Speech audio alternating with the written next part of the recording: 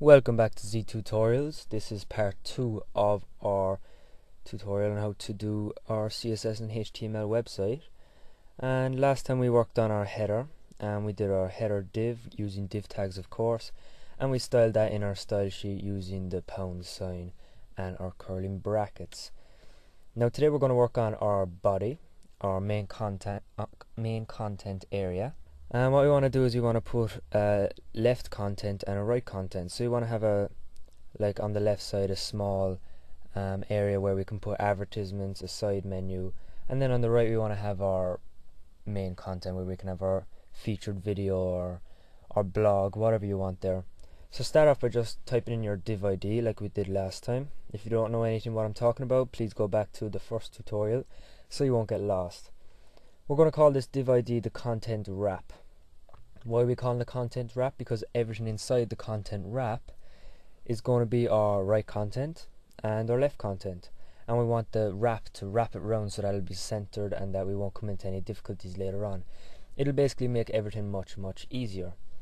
So if I type something there, we can just see our div, and as you can see, it's set to auto. By auto, I mean if I press enter a couple times, it'll expand and it'll just pan out the whole page. So what we want to do is we want to style that content wrap so that it's centered and that it's um, 980 pixels wide, the same as our header. So to style it, it's a div ID.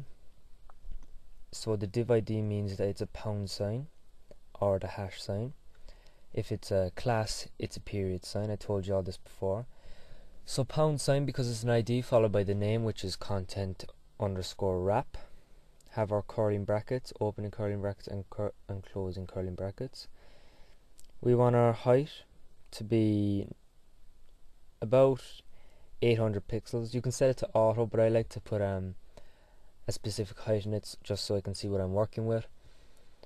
Our width is going to be of course 980 pixels because that is the side of our header.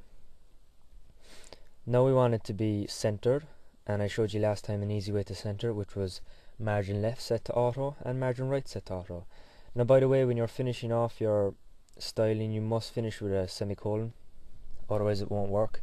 So make sure after typing the auto you put your semicolon. And now we can see our lovely content and body area here. Now it looks pretty good, it's all centered and it's got the background color. The background color was changed in the page properties. If you don't have the properties panel you need to go into window and make sure page properties is ticked. So now that we have our content wrap, we want to put in our left content. So this is easy. Make sure that the div, the closing div for the content wrap, is after everything else. So as you can see there in the top line, it says div ID content wrap, and then there's an angle bracket, and then the closing angle bracket is below what I'm typing now. Now that's very very important because then it'll be inside that wrap. So inside the content wrap, you want your div ID left content. Again, it's an ID because it's a big thing. I told you guys if you want to do a class, you want to make that smaller things like um, next buttons, things like that, just buttons in general would be your classes. So that we have that, we're going to put pound or hash sign, left underscore content, some curling brackets opening and curling brackets closing press enter between those brackets and you want to press height.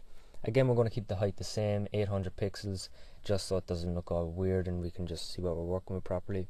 Now you want it to come in right down there about 250 240 pixels maybe.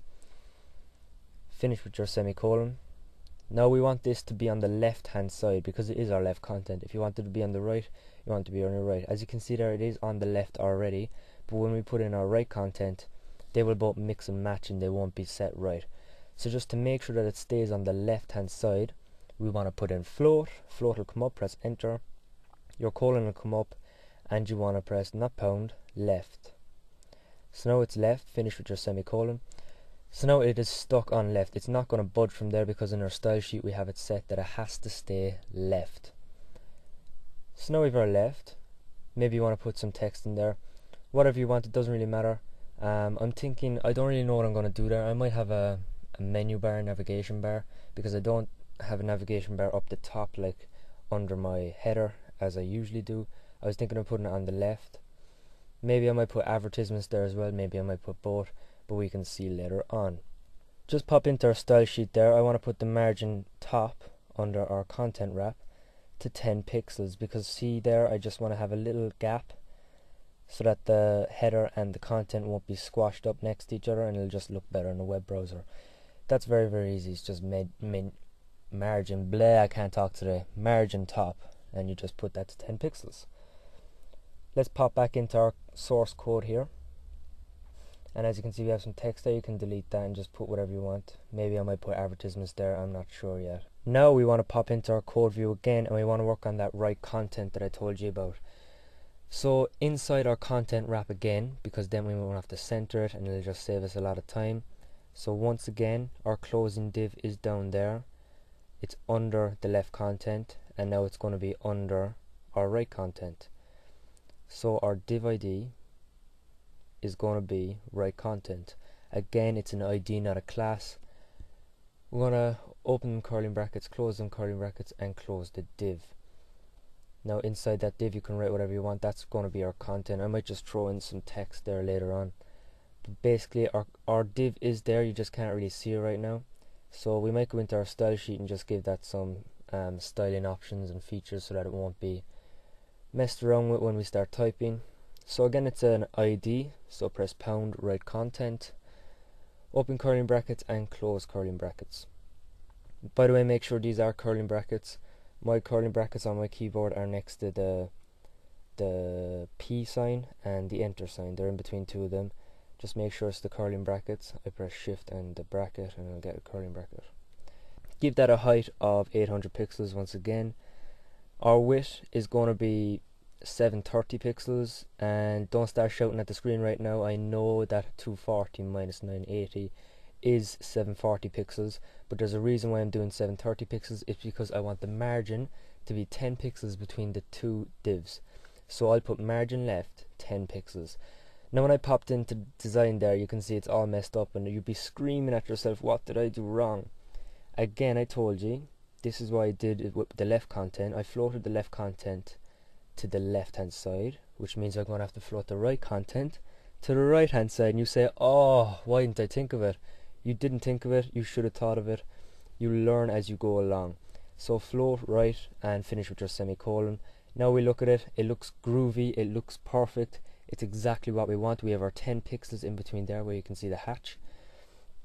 And it basically just means that there's 10 pixels from the the header and there's 10 pixels in between the left content and the right content which means nothing will be squished together and it'll just look well and it'll look like a good designed website now we can just write some text in there I don't know what I'm gonna write right now so uh, I might just pause this video and come back when I have some text written so there you go I just wrote in some text there I didn't want to bore you guys by leaving you waiting and watching me type so uh, I actually have a quite a good domain. I've got geektalk.tk and yes I did register it already. Now I don't know what I'm going to do with this website. I am going to put it live on the web. Maybe you guys might be interested in a giveaway or something.